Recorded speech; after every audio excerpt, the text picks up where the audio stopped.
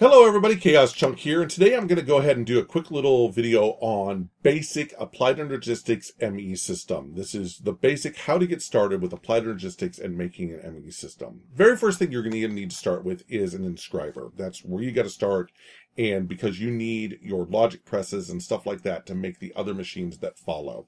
So what you're going to need is you're going to need a quick little piece of silicon here, printed silicon circuit, the um, with an inscriber silicon press then you're also going to need to get uh, an inscriber logic press and you get these from meteors. In karma you can actually make them yourself um, with a little bit of resources and stuff like that so you can make them in karma. So our logic press and then we're going to take actually i already have them made. So we're going to go ahead and put one together here real quick and show you what this is all about so really this is the basic basic component that you're going to need to build in order to move on to the other stuff is a logic um, uh, logic processor. So inscriber, very first thing you need, plus of course your inscriber logic press and your inscriber silicon press. A basic system consists of a form of power, power transfer, and storage. That's that's the basics of a system here. Uh, the power is I'm currently using a vibration uh, catalyst here, vibration chamber. Power can be provided by any method you want. It, EU, RF, MJ, if that stuff even still exists, all of that kind of stuff um, is then converted with a power transfer into being able to power your your whole system the bigger that your system gets, the more power it will take. So you definitely have to plan ahead for growth of the size of your ME system. This is a basic ME chest. Um, you have to have a storage cell in it to be able to store things in it. I will do another video at another time to explain why you want to use 1K and 4K storage cells versus using um, your uh, 64Ks and your higher K storage cells.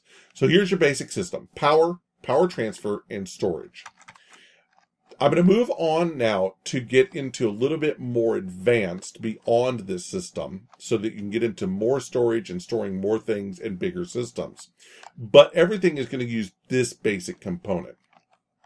When you step up to this, this component, you're starting to use the Inscriber Engineering Press with a diamond.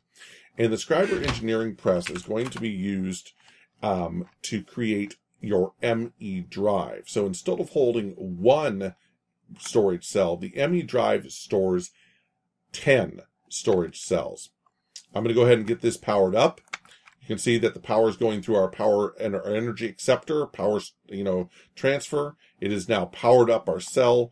And then we have a terminal to be able to access our things in our system right here. So as you can see, if I come back here, you can see that there's zero of zero if I pop something in my system, it currently has one of 63 types, and that's how we can access it.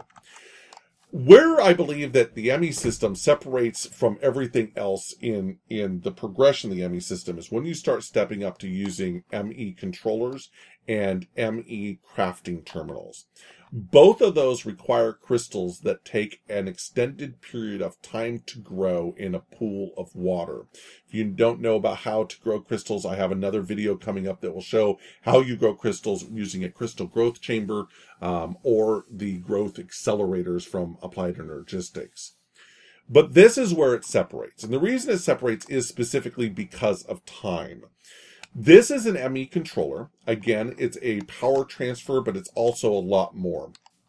It takes pure Fluix crystals, which take an extended amount of time to grow um, in the system, and you have to build other things to get to this point. You don't need this to get your basic system.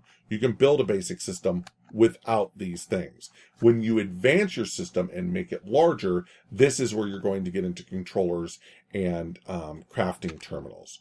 So we can fire this baby up right here, and we can show you once it starts getting power that this thing will blink on. And you'll notice that now our drive is engaged, and we can put whatever we want into here uh, without a problem, and so on and so forth. So guys, um, it, it, and this is also, of course, where you use your inscriber calculation press uh, and quartz Certus to pure Certus to make your crafting terminal and so on and so forth. I hope this clears up um, how to get into basic Applied Energistics, um, just to get a basic system up and running. Um, we're not going to get into channels here or anything like that, which I will get into in this video over here that I have yet to do. And so there we go, guys. Don't forget to come check me out at Chaos Chunk, uh, Twitch TV forward slash Chaos Chunk. Don't forget to lick, like, and subscribe. Have a great day, and we out.